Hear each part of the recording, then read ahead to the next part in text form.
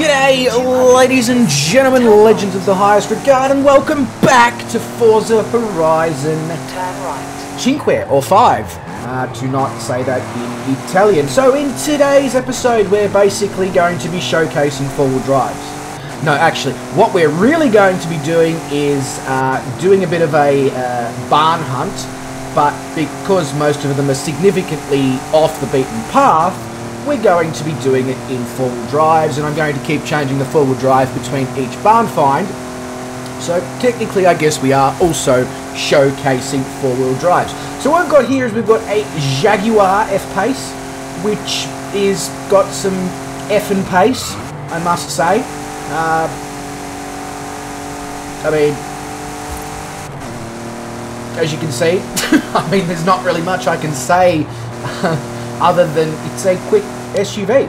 Um, so we're coming up now into the location of the first barn find. Now, just a heads up, in this video you will see all the locations that the barn finds are located in, as opposed to the locations where the barn finds aren't located in. What even was that? Okay, um,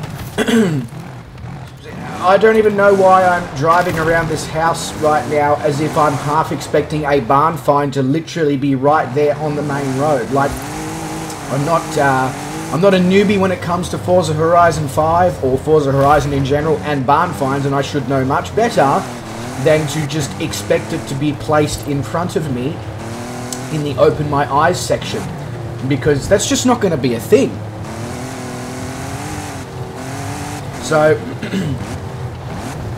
I guess the best uh, advice I can give when you are looking for a barn find, or if you're struggling to find a barn find, circle the outer rim of the location and try and find a high point shopping centre and go from there. It looks like I've discovered the barn. No. is that possibly a future barn or is that a barn I've already been to? Hmm. Anyway, I'll take out a fast travel board in the interim. Um, that's really interesting, actually, because that one isn't actually that far off of the road. So I can only assume that because of its location, that it must have been one of the first ones that they make available to you within the game. Uh, just to obviously not make people go, oh shit, especially if it's their first Forza Horizon. You don't want people going, oh shit, these are so difficult to find and I guess it makes sense to increase the difficulty as we go along. Now I'm just going to do some uh, farming here, it appears. Just, uh, his crops look like they're ready, so, I mean, you know, pick picking for him. I don't know if uh, churning them up under the uh, tyres of the car is the kind of picking that he wanted to be done, but it, it's the picking that he's getting, at least from me anyway. Um, pretty sure that's going to get me fired from that job. Um, and, and I guess that's fair enough. The other tip I can give you when looking for uh, barn finds is you need to look for a road that is not on your map usually and it looks like uh, an entrance to a farm or a winery or whatever. It's usually a small dirt road with fences on both sides. Um, chances are if you come across one of those in your purple circle, that it will in fact lead you to the location of the barn find. Now, as you can see, I'm using absolutely none of my tips whatsoever to find this first barn find. So whether or not you take my advice is very, very much uh, your prerogative on that one. Um, I, am obviously not doing a very good job of displaying uh, the advice that I'm providing, so I guess you could say, do as I say, but not as I do, um, which is terrible advice. So, as you can see, I've sort of noticed that there was a small road here that uh, went down the middle of nowhere, but it doesn't have a fence on both sides. Now, this is a mistake uh, going... Well, it's not a mistake going down here, actually, because it could have actually led to the location of the road that then takes us to the barn find. But um, as you can see, it is most definitely not the right place. I guess one thing that I have now done from the advice that I was uh, spruiking for the first few minutes of the video is now I am uh, trying to get some height so I can see what uh, might be in the distance, which this has given me absolutely no benefit whatsoever because there's fucking trees in the way. So again, my advice is uh, really uh, being proved to be very beneficial and useful not. However, as you can see here, I seem to be coming in behind a barn. And there we go, we have a barn find. Brilliant. Let me guess. You found it. Oh yeah, I did. Took me long enough, but I found it.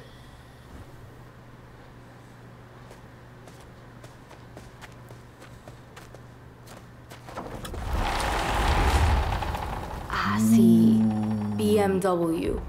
Too old to be made in Mexico, though. We should take it to the taller so I can get a better look. 2002 Turbo. That's nice. Hell yeah. What a barn find. That's epic. Call you soon. No worries. All good. Let's see what we've got here. A BMW 2002 Turbo. I mean, you literally just said that. Alright, so now we're going to select our next barn find location on the GPS, and we're going to need to change car as well, Bryce. That would be helpful. So we need to get ourselves into another off-roading vehicle. So we're going to take our Dodge Durango dad car.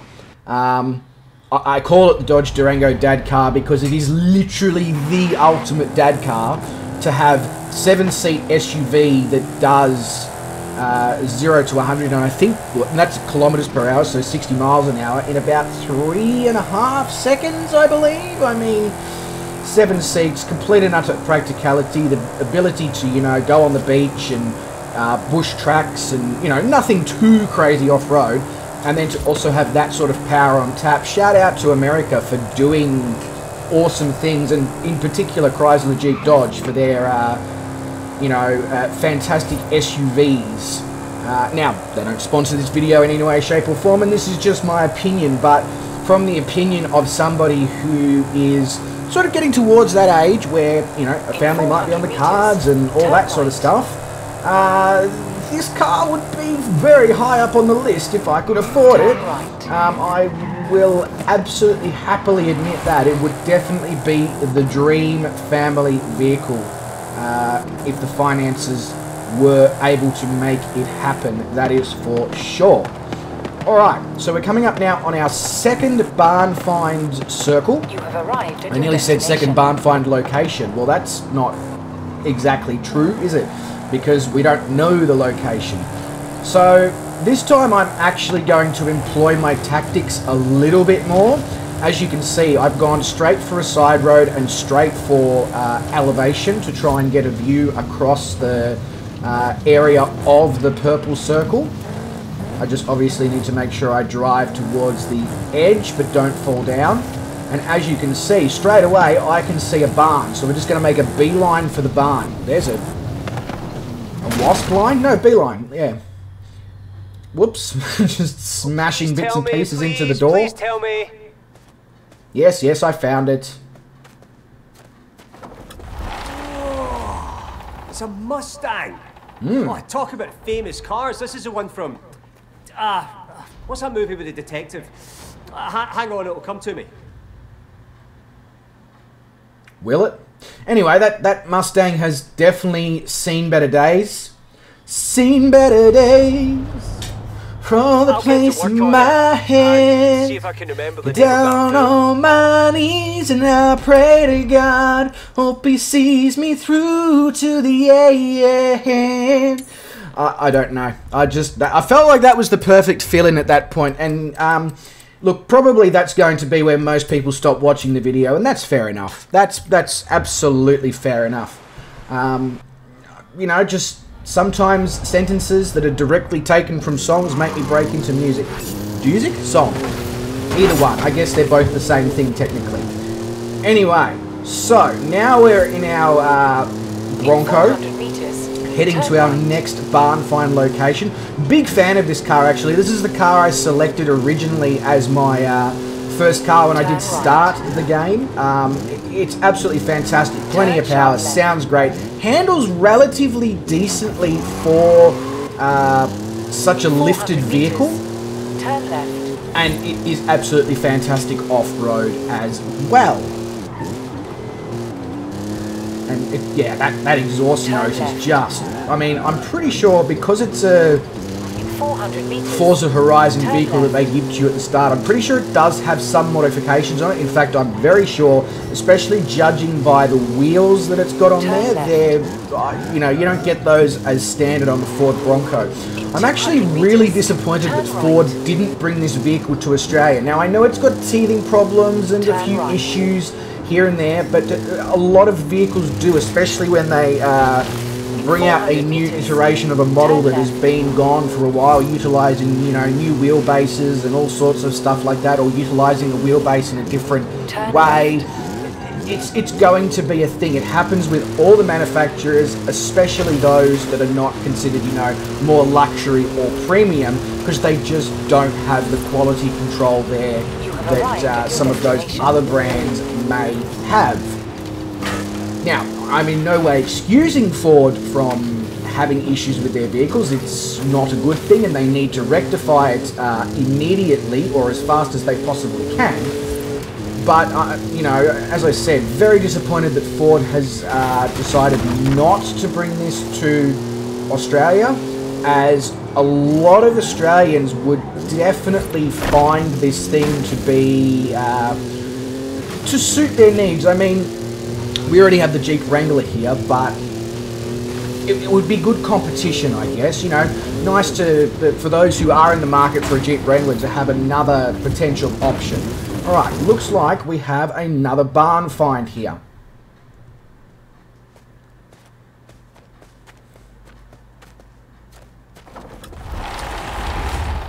Ah, definitely a classic camioneta. Ford F100. Let's take you back. An old F100, and it's not actually in that poor a condition. I mean, it's it's not great. There's a lot of rust, but ooh, that is I haven't worked on one of that that could be dead. something pretty you when it's done. spectacular once I get my hands on it on the other uh, end. Now, you guys, please do let me know uh, in the comments if you would like to see some barn find builds. Usually, when I build barn finds in this game, I tend to leave the engine as the engine that was intended and simply add uh, performance options and upgrades to that engine. Um, I feel like it just helps to keep the purity of the vehicle, and there's no point in trying to do stupid things to uh, old cars, especially when they've been restored to at least feel relatively similar to the day they did when they rolled off the factory floor. Now, maybe that's just me being sentimental and partially realistic and possibly uh, inflicting too much emotional attachment, as much emotional attachment as you can actually put into a game. But yeah, please do let me know um, if you would like to see some of those builds, you know, some short videos or whatever, some speed building with some music, etc. Just to see what sort of awesome stuff we can do to these vehicles to really give them that, uh, and it doesn't even necessarily need to be exterior, um, you know, behind the scenes, that modern tweak while still keeping the purity of the vehicle so that we can enjoy uh, these older vehicles at their very best of what is achievable today. Right, so this Ford Puma thing that has been done up in Rally Spec is a little bit nuts and very difficult to control actually. I'm having a really hard time keeping this thing uh, sort of in a straight line. A lot of uh, weaving from the front end, which kind of, even though it is all-wheel drive, it kind of makes me wonder to which bias, whether it's a front wheel or a rear wheel bias on this all-wheel drive. Anyway, I've seen what I was talking about, which is a small road that's not marked on the map that has fences on both sides. And, as you can see over there in the distance, there's a barn find, or a barn, which could end up being a barn find. It looks the part, and it is the part, so there we go.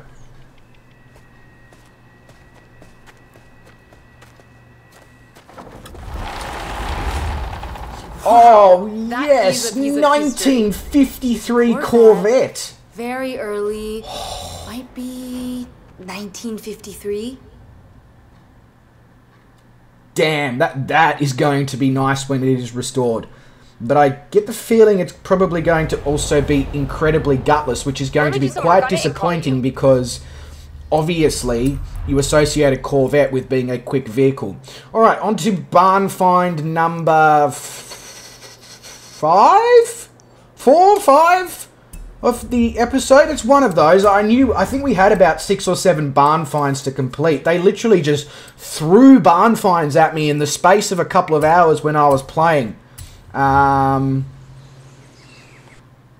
yeah, and I was just like, you know what? If you're going to throw that many barn finds at me, I may as well turn it into a fucking video. So that's what we're doing.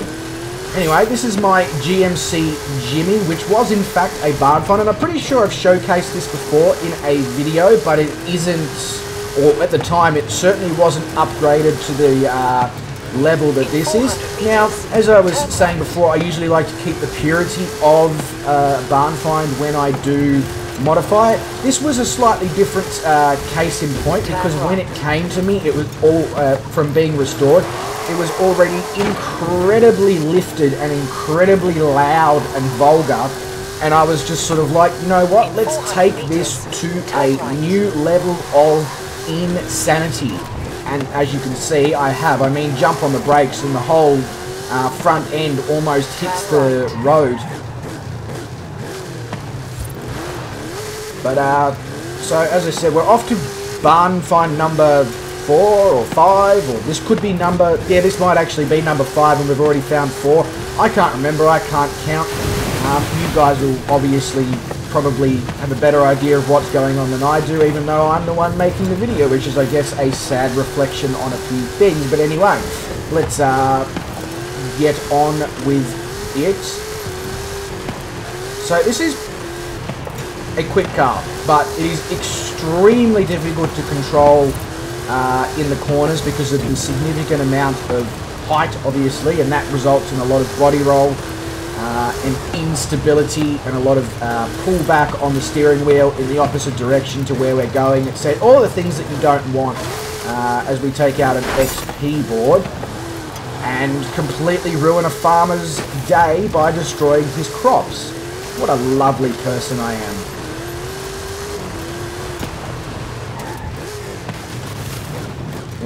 Okay, so now we're going to go into the greenhouse to pick up a fast travel board, completely destroying what appears to be tomatoes or strawberries or something like one of one of those particular items that grows well under cover in rows like that.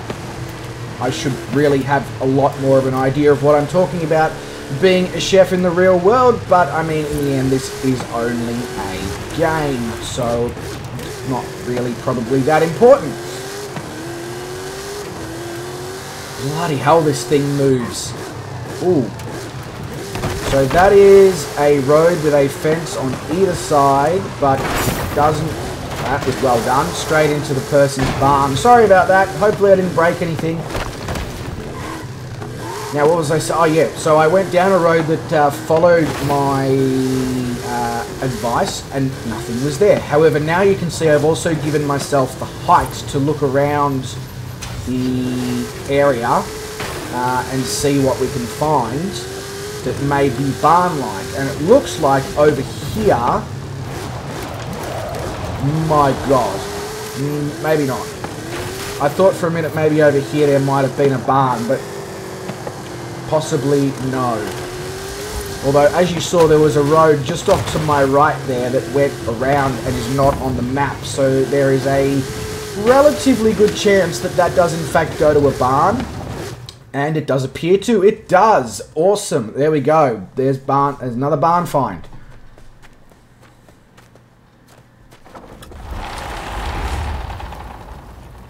That is a 7 liter, 425 brake Oh horsepower. my god, it's a Dodge engine. Dart.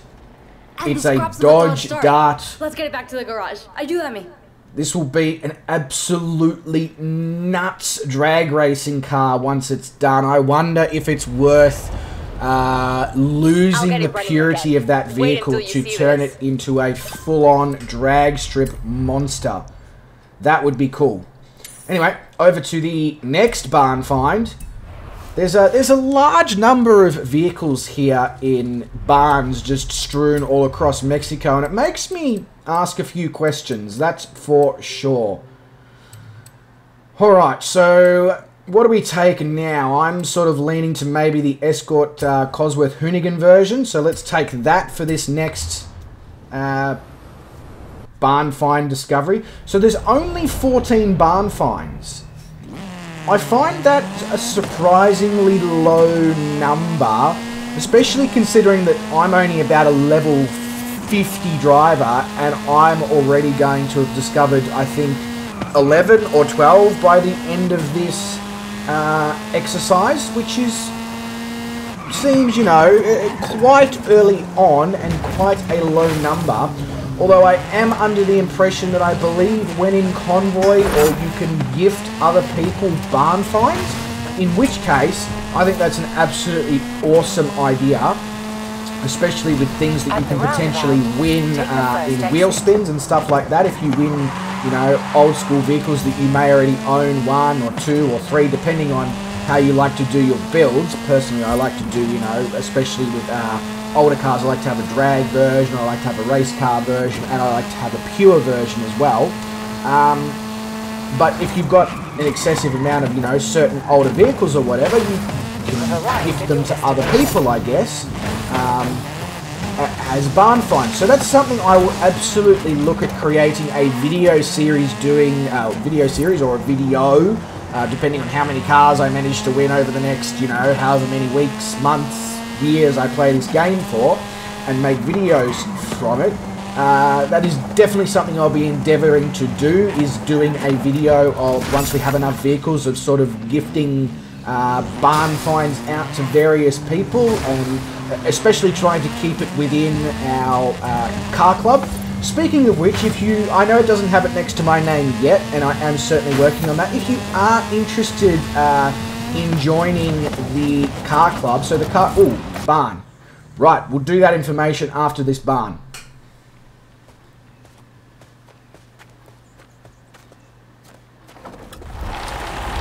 Whoa! No wonder those American collectors wanted this. It's a Viper. Viper ACR. The ACR, I think. Aye, 8 litre V10. And almost impossible to keep the power on the road. But if you can, here, give me a hand. Nice, nice.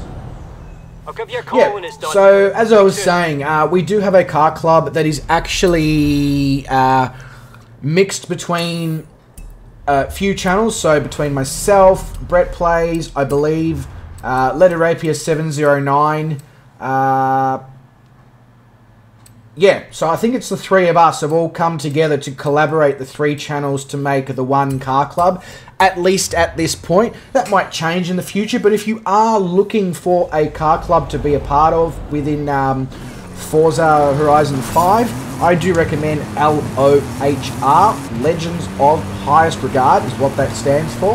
Um, and basically, the name says it all. It is literally a Forza Horizon car club for a bunch of legends to just hang out and enjoy yourselves and there's no discrepancies or questions or you don't have to complete things and you don't have to be Turn really good or you know there's no to pressure so. to do anything other than if you just want to have those letters at the start of your uh, gamer tag more than welcome you'll just need to search for it in the searchy thing for the car clubs yeah as you can see I really know what I'm talking about there at your destination. so here we are doing, is this the last barn, it must be the last barn find that we've got here of the video. And it's in the jungle area, so this could be significantly more difficult to find simply because there's so many unmarked roads and tracks in these jungle areas that are not on the map the question, I guess, is whether or not these areas have the fences on both sides. And again, I've gone to a barn, farmhousey style thing that is literally on the side of a main road. You would have thought that after the first one uh, that we went to and the barn find wasn't there. Uh, it was complete failure based on that thought process. You would have thought that I would have uh, seen that and gone, nah, it can't be because it won't be because they're not going to make the barn finds that simple. But there you go, you know. Uh, you can't lead, sorry, you can lead a horse to water, but you can't make it drink. Alright, so I don't know why, I also don't know why I'm employing the whole idea here of sitting, uh, you know, on some elevation and looking around. The elevation around here is not actually high enough to be able to look around. I say as I turn my Maserati into a speedboat. The, the, best bet that I can give with these jungle uh, barn finds is just drive through the scrub and the trees and all that. Um, and hope and pray that you do come across one of those small side roads that's unmarked that has got a fence on both sides. And if you don't, well, but as you can see, I've just sort of come flying through the middle and I've found a barn, which appears to be the barn find. Oh, hey, it's an F40. I can't believe it. Help me get it out of here. Uh-huh. Ferrari F40. Okay, that is a pretty special barn find, I must say. That is pretty spectacular. I'll call the paint shop, tell them to get out the Rosa Corsa. See you soon. Yeah, that's bloody awesome. Alright, so now into the world map. We're just going to do a quick scan to make sure that we didn't miss any barn finds, because that would be, seeing as this is a barn find episode, that would be extremely awkward.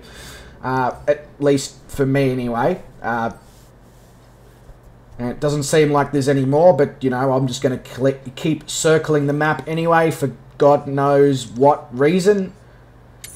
Right, off to the uh, Apex outpost over there, and I, what we're going to do when we get there, well, actually, we're going to change our car first, seeing as that was the whole uh, thing that we selected at the start of the video to do. This is technically not a four-wheel drive, I guess. This is just an all-wheel drive vehicle, but it is a absolutely awesome all-wheel drive vehicle. It's got so much power for a little hatch. It sounds insane. So when we get to the Apex Outpost here, basically what we're going to be doing is we're just going to be uh, grabbing our barn find that is ready, which is the Jaguar XJR 15, I think. Uh. Yeah, that, that, that's basically the point of this exercise at this point. Um, and you guys will have to let me know as well in a future video if you would like to see me do a test drive of each of the barn finds, especially in their stock form.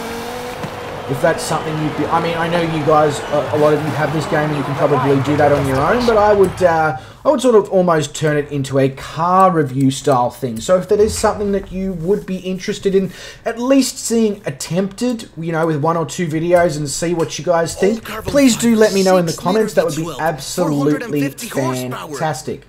It should have been on the track at Le Mans, not in the middle of the Mexican jungle. Hang on, did he say 450 horsepower? Far out. That's decent for. I guess you know in 19. I'm pretty sure in 1991 that was the fastest car in the road going car in the world, which is 450 horsepower back in 91. That's fairly decent considering that the regulations for unleaded fuel and all that had only just become a thing.